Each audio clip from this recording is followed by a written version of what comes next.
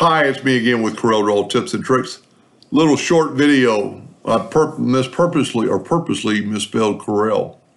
Now, you can edit it a couple ways. Go to your edit and just do some things. You can actually get your text cursor back and retype them.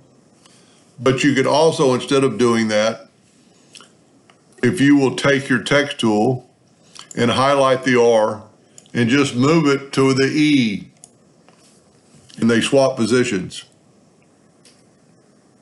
That's pretty cool. I don't know that you'll ever use that, but just to let you know it can happen.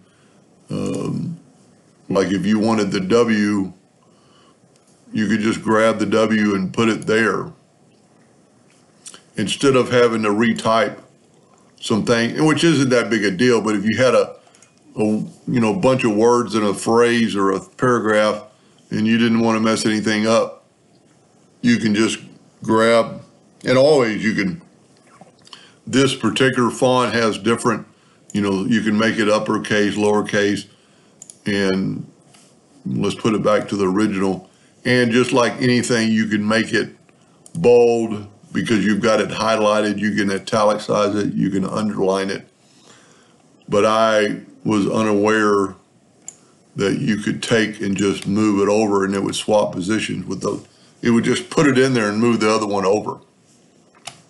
Pretty cool. Hope that helped. Thank you for watching.